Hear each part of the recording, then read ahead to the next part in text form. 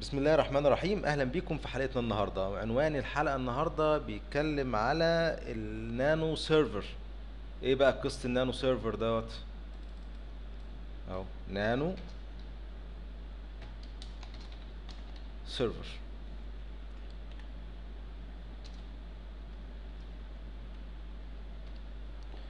إحنا في الحلقات اللي قبل كده اتفقنا إن إحنا في عندنا server اسمه GUI. graphical user interface تمام؟ وبعد ما عملنا graphical user interface عملنا server بعديه اسمه server core ولكن مايكروسوفت لقت إن في بعض ال- ال- ال- المشاكل أو بعض الحاجات اللي بتخليها ما تقدرش تنافس بشكل كويس قوي في ال virtualization market إيه هو ال virtualization market دايما مايكروسوفت بيكون ليها منافسين أكيد في أي سوق. فمن ضمن ال- المنافسة اللي مايكروسوفت بتطمح إليها هي إن هي تدخل في سوق ال virtualization أو إن هي تحول الاجهزه بتاعت الكمبيوتر. بدل ما أنت تشتغل على أجهزة physical موجودة عندك في ال environment بتاعتك ولكن يكون عندك server كبير beefy server ال server دوت إمكانياته ضخمة آه، فبناء عليه تقدر تخلي أو ت convert ال physical machine تبقى كلها virtual machine زي اللي إحنا بنشتغل عليها في ال course كده. تبقى production servers فعلا شغالة. فكانت في ميزة نسبية ل VMware شركة VMware عن شركة مايكروسوفت إن شركة VMware لما بتيجي تنزل ال virtualization tool بتاعتها بتنزلها على ال server من غير operating system ضخم. بتكون tool صغيرة كده. فال tool الصغيرة دي بتخلي استخدامك في ال virtualization بتستخدم كل ال resources اللي موجودة داخل هذا ال server ولكن مايكروسوفت لما بتيجي تستخدم فيها ال Hyper-V لازم لازم بتروح منزل operating system 2016 أو 2012 whatever إيه هو ال operating system بتاعك وبعد كده تروح منزل عليه ال Hyper-V وتنزل عليه ال machines بتاعتك. فبناء عليه في استهلاك من ال memory بتاعتك داخل ال operating system فعلشان كده مايكروسوفت راحت عاملة حاجة جديدة اسمها nano server. ال nano server ده بتنافس بيه ال servers بتاعت ال VMware أو أي شركة تانية بتقوم على مفهوم ال virtualization حاجة اسمها bare metal ال bare metal يعني يعني بستخدم ال machine على الحديدة كده يعني يعني يعني أنا ما أقدرش أروح أقعد قدام ال server وأعمله manage ولكن لازم ا manage هذا ال server remotely نظرا لصغر حجم ال operating system اللي نازل ولكن ال operating system اللي نازل نازل بس علشان ننزل عليه ال virtual machines أو أي role آخر آه، في بعض ال roles هنتعرف عليها ونعرف إيه هي ال roles اللي بيقدمها ال- النانو آه، server طبعا آه، ال nano server من ضمن الحاجات اللي هم كاتبينها في ال MOC بتاع ال course إنك ما ينفعش ت upgrade ال nano server. فالناس تقعد تقول لك يا نهار أبيض ما ينفعش upgrade ال nano server. طب ليه يا جماعة؟ سبب بسيط جدا. ال nano server يعني دايما لما بنيجي نابجريد اوبريتنج سيستم بنابجريد الفيرجن القديم للفيرجن الحديث. فلو عندنا 2012 يبقى ن upgrade ه ل 2016 مثلا. ولكن ال nano server أول مرة ينزل في 2016 فهت upgrade ه لإيه؟ تمام؟ فإن شاء الله لو في عمر يعني ونزلوا بعد كده server 2020 مثلا هتلاقي إن نازل فيه nano server upgrade فنبتدي نتكلم على ال upgrade بتاع ال nano server فال nano server هتلاقيه شبيه بال core ولكن مش هيقدر يقدم كل الخدمات اللي بيقدمها ال core هيقدم بعض الخدمات المعينة. ولذلك في طريقة في طريقة آه، لازم آه، نعملها علشان نقدر إن إحنا آه، نعمل ال server core دوت. إزاي يا باشا؟ قال لك خش الأول على ال server بس كده. آه، إحنا محتاجين نروح مثلا على ال partition ال D مثلا وهننزل هنا ال nano server. فأنا مثلا هعمل folder كده وأسميه نانو بالمنظر ده مثلا. فأنا عارف إن أنا هعمل الموضوع ده فين؟ في قلب ال D partition في قلب folder اسمه نانو. طيب محتاجين بقى إن إحنا نروح نفتح اسطوانة ال Windows. فاسطوانة ال Windows أنا حاططها هنا أهو Windows 2016 right click mount ده ISO file كده. فال ISO file ده لما أنا عملته بهذا المنظر لقيت جواه folder اسمه nano server خلينا ناخده copy كده copy ونروح نحطه على ال D partition فأنا دلوقتي هيبقى عندي two folder folder اسمه Nano Server اللي أنا جايبه من اسطوانة ال Windows. و folder تاني اسمه نانو اللي أنا هحط فيه ال ال النتيجة اللي أنا أو نتيجة الشغل اللي أنا هشتغله آه، دلوقتي. طيب. لازم عشان أعمل ال Nano Server دوت أستخدم cmdlet PowerShell command فهروح لل start menu وأقول له إن أنا عايز ال PowerShell أكتب كده PowerShell فهلاقي مثلا ال PowerShell أهو فأقول له right click يا PowerShell run as administrator. فال PowerShell فتح بالمنظر اللي سيادتك شايفه دوت. فهروح لل path اللي فيه ال Nano Server. أهو فين؟ محتاج أعمل refresh كده. ماشي. فهلاقي عندي في path اسمه Nano Server. لما تفتحه هتلاقي جواه حاجة اسمها Nano Server generator فأنا محتاج أروح لل D partition فهكتب D partition وأكتب cd Nano Server backslash Nano Server.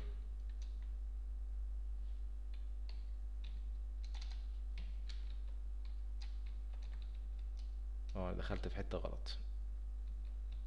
Nano Server وبعد كده أقول له cd Nano Server generator بالمنظر اللي أنتوا شايفينه دوت. طيب لازم يعني ال PowerShell بيكون فيه بعض ال modules يعني لو قلت له get dash أو hyphen يعني module هيجيب لي ال modules اللي شغالة اللي أقدر بناء عليها أ run commands عندي. فعلشان أقدر أشتغل على ال ال ال Nano Server لازم أعمل import لل module بتاع ال- ال Nano Server image generator ده. لأن هو by default مش موجود. فلاحظ أنا عندي كام module هنا؟ واحد اتنين تلاتة. طيب هقول له import dash أو hyphen module space dot backslash Nano Server generator المنظر اللي أنتوا شايفينه ده كده؟ hyphen verbose هو الراجل اللي عامل الموضوع ده قال لنا هو ده ال command أو ال cmdlet اللي هتستخدمه. وقول له enter فهو دلوقتي اللي عمله إن هو عمل import لل modules اللي ليها علاقة بهذه الجزئية. فهقول له get module تاني فهتلاقيهم بقوا أربعة module مش ثلاثة من ضمنهم الايه Nano Server generator طيب كويس أوي. ننفذ بقى ال command اللي هيخلينا نقدر نعمل هذا الموضوع. ال command بيقول new Nano Server image وطبعا ال command ده ما كانش هيشتغل معايا. طبعا لما بدوس على ال tab بتكمل لوحديها بتكمل لوحديها يعني ال command موجود. لو ما كملتش يبقى في مشكلة. فما كانش هيشتغل إلا بعد عملية ال import لهذا ال module. فهقول له Nano new Nano Server image dash edition. ال edition بتاعنا يا ترى هو إيه؟ هو standard ولا datacenter لا بالنسبة لي أنا standard okay. طيب. بعد كده عندي ال deployment type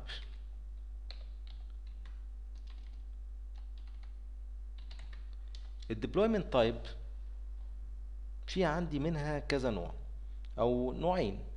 نوع اسمه host ونوع اسمه guest النوع اللي اسمه host بيستخدم لو أنا هطلع ال Nano Server image ديت في إن أنا أستخدمها لاحقا إن شاء الله في Windows deployment service مثلا. أو إن أنا هحطها في قلب hard disk فتبقى هي ال bootable image يعني لما لما الناس تيجي تشغل ال server ال server core هو اللي هيشتغل. لأن دايما يعني لما هنكون بنعمل ال server core دوت هنبقى محتاجين إن إحنا نحطه على على جهاز physical ولما يقوم نبتدي ن manage هذا ال server core فعشان نعمل هذه الجزئية لازم نختار deployment type اسمه host بالمنظر ده ولكن الحالة اللي أنا شغال فيها دلوقتي هي حالة مختلفة إيه هي الحالة المختلفة حضرتك؟ إن أنا هطلع ال Nano Server دوت أو ال Nano Server image وأشغلها على Hyper-V عشان عشان تشوفوها ما أنا لو شغلتها على على كيسة جنبي أنتوا هت- هتشوفوها إزاي؟ فساعتها لو أنا هشتغل على Hyper-V host يبقى مش هختار ال option اللي اسمه host ولكن هختار ال option اللي اسمه guest بهذا المنظر. طيب آه بعد ما بعمل كده بقول له ال target path يعني الكلام دوت هيتحط فين؟ أهو ال target path فأقول له هيتحط في ال D colon backslash Nano Server واكمل تحت. تمام نانو بس أضغط enter بقى كده. اداني error قال لي ال target path فين هو ال target path بتاعك؟ عرفت منين الكلمة دي؟ ما هو ما قال لي target path طب ما أنا كاتبه له أهو ال target path آه أنا كتبت له ال target path بس ما كتبتلوش اسم النسخة. فهسميها مثلا Nano dot VHD هيطلعها في شكل hard disk نوعه VHD أو VHDX مثلا. هضغط enter فهيقول لي حط password ال administrator كتبتها. طبعا كان كان نفسي إن هو الراجل ده يقول لي أعمل confirmation لل password ولكن هو ما عملش كده. فالراجل ما شاء الله ابتدى يشتغل أهو. لو رحت لل folder اللي اسمه نانو هلاقيه هيبتدي يظهر هنا لما يخلص أو لما يجي عند نقطة معينة. فهنفضل مستنيين لغاية ما الكلام ده يخلص. خلص خلاص وخرج ال hard disk بالمنظر اللي أنتوا شايفينه ده مساحته 492 ميجا. ال error اللي فوق ده ملناش دعوة فيه بيه ده ال error القديم فال process خلصت خلاص. فأنا علشان أشوف ال Nano Server دوت في الحالة بتاعتي يبقى هجيب ال Hyper-V تاني واقول له new virtual machine وأقول له next وأروح أقول له إن المكنة دي أو الفيرتشوالية دي اسمها نانو. وهحطها فين؟ هحطها في نفس ال path اللي كنا بنحط فيه الفيرشوالات في ال E في ال VM أعمل folder كده وأسميه نانو. بالمنظر اللي إحنا شايفينه دوت. double click عليها و select ال folder فهو ده ال folder اللي هنحط فيه الفيرشوالي آه جه الأول ولا تاني؟ أول مش فارق معايا. ال memory آه 1024 وأقول له next ومش هي connect مش هي connect بمين؟ بكارت network. next فين ال hard disk اعمل لك hard disk جديد؟ لا ما تعمليش hard disk لأن ال hard disk already existing موجود قبل كده. موجود فين؟ موجود في browse موجود في ال D في folder اسمه نانو هو ده اللي أنا لسه عامله جديد واقول له next واقول له finish واقول له connect ثم start قال إن هو فتح خلاص فبيقول لي أنت اسمك إيه يا عم؟ أقول له اسمي ال administrator وال password اللي أنا كنت دخلتها وهو بيسألني في الأول خالص. طيب. دوست tab عشان أنزل على الخانة اللي بعديها. وال domain لو أنت عامل domain لكن أنا لسه ما دخلتش في المرحلة دي. فاضغط enter please wait وابتدى يدخلني. أقدر إن أنا أستخدم ال options دي عشان أفتح مثلا أخش في النت في ال networking مثلا وأغير في الإيثرنت بتاعي بدل ما هو واخد 169 اللي قلت لك عليه قبل كده إن هو APIPA. أقدر إن أنا أغيره من خلال مثلا إن أنا أدوس F 4 فأبتدي أقدر إن أنا أخش جوه هذه ال options وأبتدي أعدل فيها. يعني هنا تحت قال لي إن ال IP version 4 هو F 11 فأدوس على F 11 عشان أقدر إن أنا أغيره. أنا خايف بس أدوس على اي زراير كده التسجيل يقف ولا حاجة فعشان كده ما بكملش. فبعد ما بنعمل القصة دي بنقدر نعمل لها manage من داخل server آخر ونضيف ال role فبناء عليه بستفيد من كل ال resource اللي موجودة داخل ال server بتاعي. لو لو الموضوع دوت يعني انت interested فيه فهتلاقي ان جوه ال folder اللي أنا جبته من الاسطوانه ال Windows اللي اسمه Nano Server جواه حاجة اسمها packages فيها كل ال roles اللي ممكن يعملها support هذا ال server أو هذه النوعية من ال operating system والمعلومة الدائمة اللي عايزك دايما تفضل فاكرها إن ال Nano Server مش هيبقى domain controller إيه هو ال domain controller هنعرف بعدين بس مش هيبقى domain controller حطها معلومة في دماغك كده. تمام؟ زي معلومة ال APIPA اللي أنا قلت لك عليها.